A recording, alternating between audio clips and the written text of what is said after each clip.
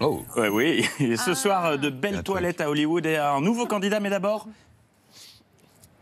je prends un ton grave pour évoquer ce souhait, cette volonté que j'exprime solennellement ce soir, si d'aventure, et ça arrivera sûrement, je venais à quitter ce monde. Je souhaite que ce soit Christine Kelly qui prononce mon éloge funèbre. Je l'ai écouté parler d'Éric Zemmour, il n'y a pas à dire, elle sait y faire. Le pathos, les trémolos dans la voix, il y a tout. Ça sent le stage d'observation chez Rock Éclair. Bonsoir à tous, Eric Zemmour ne sera plus avec nous. Toujours les meilleurs qui partent en premier. Ça a été très très difficile pour lui. Euh, il a essayé jusqu'au bout, Chaîne de vie. jusqu'au bout de trouver une solution. Il regrette de ne pas avoir pu dire au revoir. Il va manquer aux fidèles téléspectateurs. C'est Ancienne du CSA. Je suis en deuil. En deuil, on s'est battu jusqu'au bout. On dirait qu'elle parle d'un malade qui a été euh, débranché. Alors si des personnes prennent le train de l'information en cours de route, non. Éric Zemmour n'a pas passé l'arme à gauche. Il arrête simplement de participer à l'émission de Christine Kelly sur CNews, mais il n'arrête pas les médias. Oh que non. Oh là non. Bien au contraire. Et on accueille tout de suite Éric Zemmour. Éric Zemmour est donc avec nous. Bonjour Éric Zemmour. Bonjour Alba. Comme disait ma grand-mère, euh, un média de perdu, dix de retrouvé. On n'a jamais autant vu Zemmour dans les médias que depuis qu'il n'a plus le droit de parler. Et mon petit doigt me dit que ça n'est- ça n'est pas prêt de s'arrêter. Demain, événement. Éric Zemmour sera l'invité exceptionnel d'Equidia. Obligation du port de la casaque bleu-blanc-rouge pour les jockeys. Interdiction de course pour les pourcents arabes. Ses idées, son projet dévoilé en direct de la quatrième à Vincennes. Mais c'est dingo les zouzous Demain, Éric Zemmour s'invite dans T'es fou Au lendemain du Beauvau de la sécurité, il dévoilera en exclusivité son plan en faveur de la patte patrouille. Retrouvez également Éric Zemmour dans Slam sur France 3 dans Danse avec les stars, dans Petit plan d'équilibre avec Laurent Mariotte, mais aussi sur les réseaux sociaux YouTube, Facebook, Snapchat, Instagram, TikTok, Pinterest. Bref, retrouvez Éric Zemmour partout. partout. Et demain, il sera sur BFM face à Jean-Jacques Bourdin. Entretien que le journaliste a voulu teaser en fin de son interview de Karine Lacombe ce matin. Mais visiblement, il y en a un en régie qui assumait pas trop. C'est son trucage. Merci, professeur Karine Lacombe. Merci. Merci, votre Vous étiez sur RMC et sur BFM TV ce matin. Il est 8h54. Demain, ne ratez pas l'interview. Paf Couper la chic. Alors, simple erreur technique ou censure du pouvoir euh, bolchevique, nul doute que Christine Kelly devrait nous le dire dans les prochaines heures. Présidentielle toujours, le compteur monte à 328 et des brouettes, c'est mon chiffre. Le nombre de candidats à la candidature pour l'Elysée. Et une 329e candidature vient de s'ajouter à la liste, c'est Emmanuel Macron.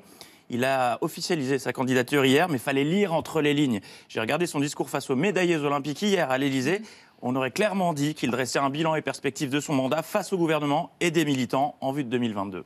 Il faut tout de suite préparer ce qui va arriver plus vite qu'on ne pense. Dès maintenant, on prépare tous ensemble ce rendez-vous parce que nous n'avons pas trois ans pour les préparer. Nous avons quelques mois, nous devons être là, collectivement, nous en donner tous les moyens. Les résultats sont là, mais des progrès restent possibles. Le bilan global n'est pas tout à fait au niveau que nous attendions et on ne peut pas construire une réussite si on ne se dit pas les choses en vérité. Je vous le dis très clairement, on doit faire beaucoup plus. Beaucoup plus. Ce n'est pas au dernier moment qu'il faudra s'atteler à régler les problèmes qui apparaissent clairement dès maintenant. Il va falloir euh, vous rebattre pour tenir la performance. Comme vous l'avez compris, il y a encore beaucoup de travail devant nous. Vive la République et vive la France.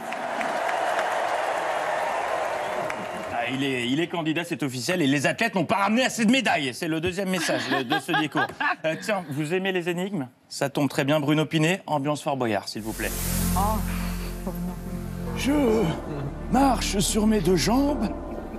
Je ne suis pas une boule de flipper. Je suis moi-même. Qui est-il? Non, personne. C'était pourtant super facile. Chaussures de jambes. C'est pas d'être balancé un peu comme, comme, comme une balle de flipper. Vous n'êtes pas une balle de flipper Je suis moi-même, Xavier Bertrand. Et la bonne réponse était Xavier Bertrand, qui s'exprime donc désormais uniquement en charade dans ses interviews. Et il n'est donc pas une boule de flipper. Les fans de Corinne Charby apprécieront ce tacle. Les plus de 40 ans ont la référence. Politique toujours. Euh, hier à New York se tenait le Met Gala, soirée caritative, avec des tenues très politiques.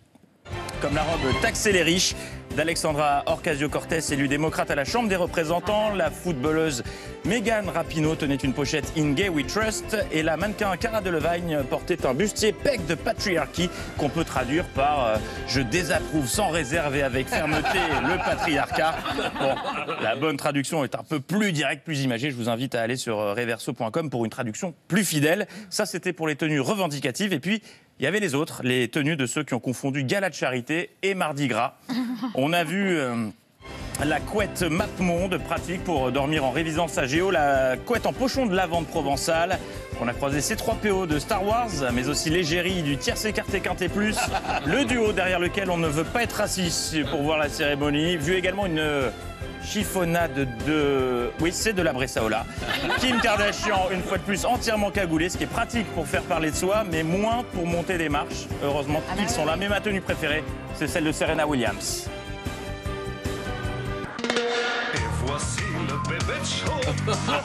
Très bel hommage au bébé de chaud, crac crac, euh, ta gueule. euh, Voilà, c'est un scandale.